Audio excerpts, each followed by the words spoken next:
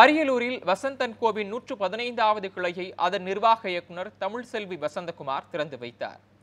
புதியதாக திறக்கப்பட்டுள்ள இந்த ஷோரூமில் தரைத்தளத்தில் எல்இடி டிவிக்கள் நவீன செல்போன்களும் முதல் தளத்தில் புதிய model washing machine fridge mixie grinder உள்ளிட்டவையும் இரண்டாவது தளத்தில் சோபா ஏசி உள்ளிட்ட பொருட்களும் உள்ளன.